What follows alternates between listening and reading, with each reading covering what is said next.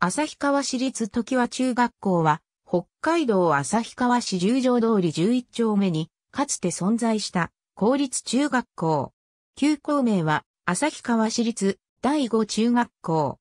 現在の旭川市立中央中学校の前身の一つである。近年の生徒数減少のため、旭川市立聖園中学校、旭川市立北斗中学校と共に統合されることが決定し、2015年新設の旭川市立中央中学校に機能を引き継ぐ形で、同年3月末で閉校した。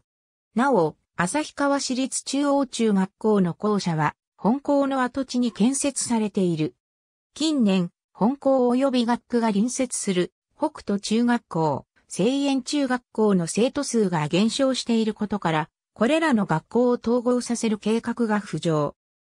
2010年10月の時点では、宮下通り4から5丁目付近に新設校を建設するとしていたが、新校舎の増改築などの利便性から、2011年6月に旭川市教育委員会は、本校の敷地内に新校舎を建設する変更案を提示。同年7月の検討会議を経て、8月に本校の敷地に新設校舎を建設することを事実上決定した。2012年12月に旭川市教育委員会は新設校の校名を旭川市立中央中学校とすることを決定。また同時に新設校の制服も決定し、新設校において全員が同じ制服を着用できるようにとの配慮から、統合対象の3校では2013年度入学の生徒から新制服が採用された。しかし、聖園中学校の学区から本校までは相当離れており、特に冬季には徒歩での通学が困難になることが予想されるため、同校の学区在住者を中心に反対運動も行われた。これに対しては、市がバス通学のための通学費補助を行う方針を示した。その他、2013年7月から2017年春にかけてグラウンドが資材置き場として占有されるため、その間の体育の授業や運動部の活動が実施困難になる恐れも浮上した。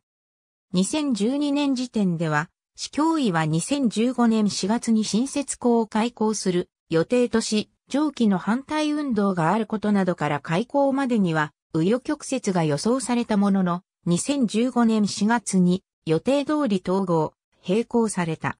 並行時点の制服は1996年度の入学生から採用されたものであった。男女ともブレザーを着用し、中にはポロシャツを着る。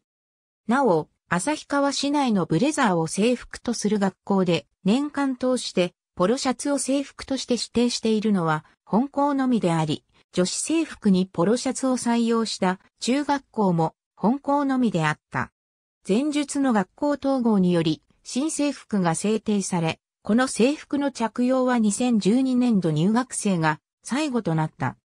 上着は紺色で、胸ポケットとボタンには交渉が描かれている。ズボンは青紫を中心としたチェック模様である。上には胸ポケットがついた白地のポロシャツを着用する。ポロシャツの左袖には学校のエンブレムが描かれている。上着は花田色である点を除けば男子のものと変わらない。また、男子とほぼ同じデザインのトンボ製のポロシャツの着用が義務付けられている。スカートとベストは素材と柄が同じで、青紫と黄色のチェック模様である。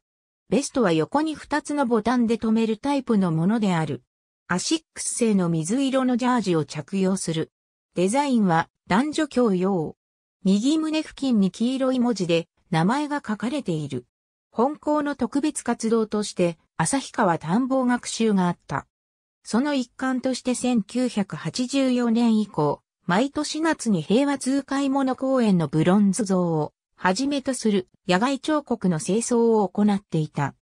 これは生徒たちに身近にある芸術作品に触れ愛着心を持たせることと、公共物を大切にする態度を養うことを目標としていた。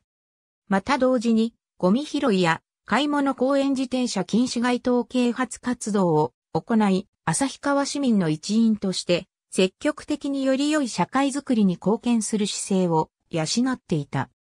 この活動については、旭川市のおもてなし計画の一環として、北海道新聞の2008年2月23日号に掲載された。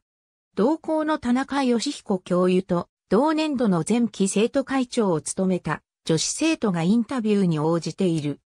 2010年11月6日発行の週刊ダイヤモンド45号で同年度の前期生徒会長を務めた生徒が、もし高校野球の女子マネージャーがドラッカーのマネジメントを読んだらを読んで生徒会活動につなげたエピソードが紹介された。